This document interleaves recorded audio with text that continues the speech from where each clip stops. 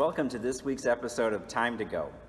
Yeah, this week it's Stewardship Week at Vinje. Getting excited for Sunday, Stewardship Sunday. I'm sure you're not the only one. Everyone is always excited about stewardship.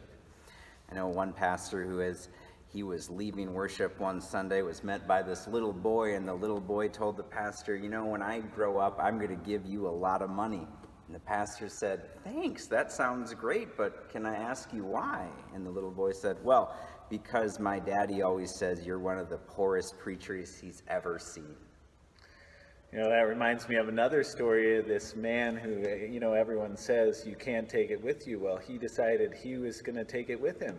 And so, weeks before he died, he had his kids bring all of his prized possessions up to the attic so that he could take it up to heaven with him when he died.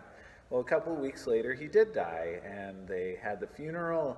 And at the funeral service, one of the kids said to their mom, You know, Mom, do you think he was able to take it with him? And so she said, I don't know, let's go see. So they go back to their house, up to the attic, and sure enough, everything's still there.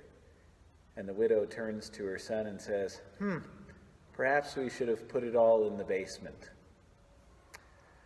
You know, uh, we like to think that everything we have, we've worked really hard to earn, but we as Christians believe that God gives us everything we have, and we just get to use it on God's behalf.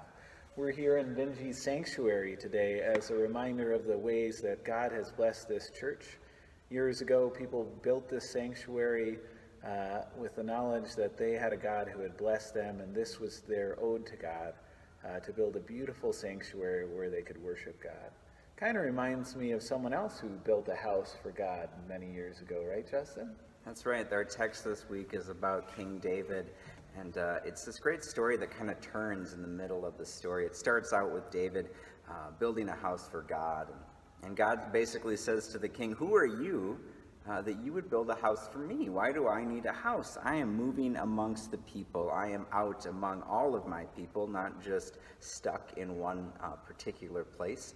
And then the beautiful turn that happens in the middle of the story is that God actually then says to David, Actually, I'm going to build you a house. I'm going to build you a house, a great kingdom filled with ancestors.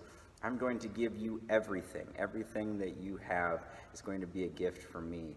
Uh, and so David begins to understand that relationship in kind of a new way.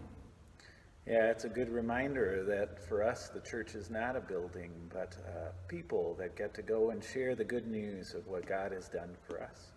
Uh, my favorite line of this story is the ending line where David recognizes what God has done for him. He says, Who am I, O Lord, and what is my house that you have brought me safe thus far? It's a recognition of how God has blessed us all along the way through all our ups and downs and God will continue to bless us for years to come. And all we get to do is give thanks and praise to God in what we do with what is God's.